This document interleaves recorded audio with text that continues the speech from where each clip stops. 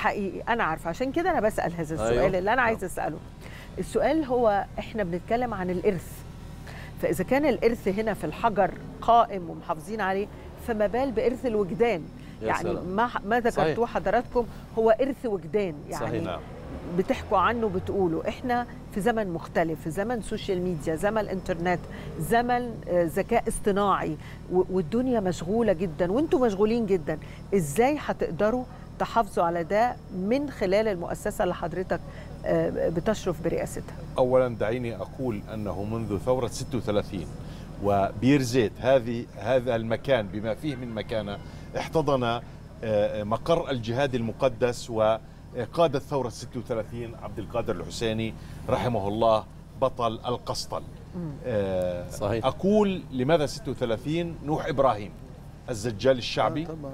دبرها يا مستر بيل آه، الذي كان. يجلسه وهو. أول شاعر عز. الدين القسام في مجالس الثوار منشدا ومؤكدا على مقولتهم كوزير إعلام لثورة 36 والذي استشهد وهو ابن 27 عاما وبندقيته في كتفه وألقي به في بئر بعد أن قصب الطائرات البريطانية والاستطلاع الصهيوني لذلك أقول رجوعا بعد نكبة العام 48 الزجال والشاعر الشعبي هو الذي حفظ هذا الإرث كماء ثقيل وآبار جوفية في الوجدان الجماعي من أجل حفظ العادات والتقاليد والإرث والموروث الذي نواجه به هذا الطوطم النووي والذي عبر سيال الزمن والتاريخ نحافظ على المكان على الرغم من محاولة تفسيخ المكان وتمزيكه وتقطيعه وتق- وتقطيع أوصاله.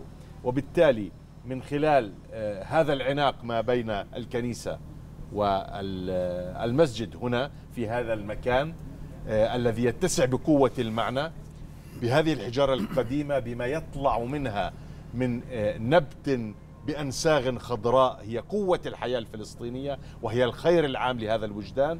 نحن نحافظ ونعض بقلوبنا على هذا الموروث كما نعض بقلوبنا على هذا التراب المقدس الذي هو نعم، بلاط نعم، للسماء نعم. وبالتالي الروح. نحن نحافظ عليه لأنه ماؤنا الثقيل ولأن هذا الاحتلال يريد تمرير رواية مفبركة ومزورة ومنقى عبر شكول زيوفه من أجل الإتيان على الوجدان الجماعي الذي يشكل الإرث والموروث والزجل الشعبي والعادات. والتقاليد والأغاني وزفات الأرس تخيلي في المستوطنات يدربون الدبكة الفلسطينية تمام، نعم. يستولون على الحطة الفلسطينية يسرقون شجرة الزيتون ويقطعونها نحن هذه الشجرة المباركة وبالتالي عندما تحضن الأم وهنالك صورة لأم فلسطينية قطعوا شجرة الزيتون في حقولها فاحتضنت الجذع. لأنها تشعر أنها هي الشجرة. الغرباء يقطعون هذه الشجرة لأنه لا علاقة لهم بالمكان. طيب نعم، وانت صحيح. بتحكي عن الحمل الملقى على عاتق الشعر الشعبي في كل جوانب الحياة الفلسطينية لأن في خصوصية في للحياة الفلسطينية. ال- ال- الشعر الشعبي مشروع ثقافي تربوي توعوي.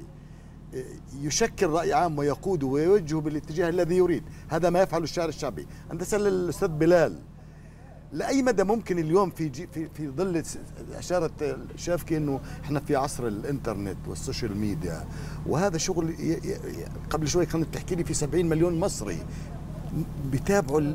ال social media. آه كوسيلة اتصال. بالنسبة له هذا يومه هذا شغله الشاغل. لأي مدى ممكن إحنا الشعر الشعبي أن يقوم سلوك ما أو أن يقو أو, أو أن يكون له رسالة وهدف وغاية. بالضبط. في في أنا أق... بدي أحكي عن الجيل الشاب. بدي أحكي عن الجيل الشاب. أستاذ بلال. نعم. طبعا هو الرسالة التوعوية ضرورية جدا عبر الشعر الشعبي. حتى لو اختلفت التضاريس حتى لو اختلفت المناخات حتى لو اختلفت الحضارات والإبداعات والاختراعات راح يظل التراث هو تراث. لكن بدك توجد رجل يوصل الرسالة الداخلية في كافة المناحي. وأنا بشوف أنه الشاعر الشعبي هو أحد الوسائل الوسائل الملحة واللي ذات الاهتمام واللي عليها العين إنك توصل رسالة تراث الشعب ونظل محافظين على تراثنا. الأخت شافكي والأخ مراد والأخ أكرم وأنت حتى إيه، جبت سيرة إنه موضوع ال- التراث والعقود القديمة والأحجار القديمة صحيح. هذه هي الشعر الشعبي مع هذه الحجار هو روح واحدة صحيح هو صحيح. بس اسمح لي أضيف هون. واحدة آه. بدي. أضيف ال- ال- الكلام اللي حكيته أستاذ خالد وأختنا شافكي. نعم. إنه لما حكيت لكم بالمواكبة وما سمعتوني. كيف بحافظ على هذا في عصر ال social media؟ كيف لاحق هذا التراث بالمواكبة؟ كيف؟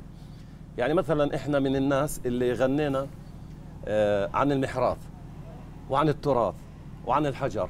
وعن دلو الماء اللي كان من آه، والعقد والبيت والعلية. والكذا. نعم. أدوات حتى أدوات الزراعة التراثية غنينا عنها. غنينا عن مناكفات أخرى في حواراتنا غنينا عن الفلاحة والمدنية غنينا عن القريه نعم. والمدينه غنينا عن كذا سمرة وبيضة وكذا. هذا كله لون كذا. اليوم في زمان ال social media غنينا عن الحاضر والماضر والماضي. غنينا عن آه، السيارات. نعم. في بعض الحوارات غنينا اللي راكب سيارة سوبارو واللي راكب سيارة كذا اللي سيارة كذا. هذا مش حداثي. اللي هو, هذا تبعت الشعر بالحق. يعني تعليقا على الحداثة يعني. غنينا عن الذكاء الاصطناعي. أنا أنا ذيك اليوم بالشطرة وإحنا بنغني يا بلال طيب. ما قلت لك إنه خايف يجينا يوم. نعم. نستورد حداي من الصين. صحيح.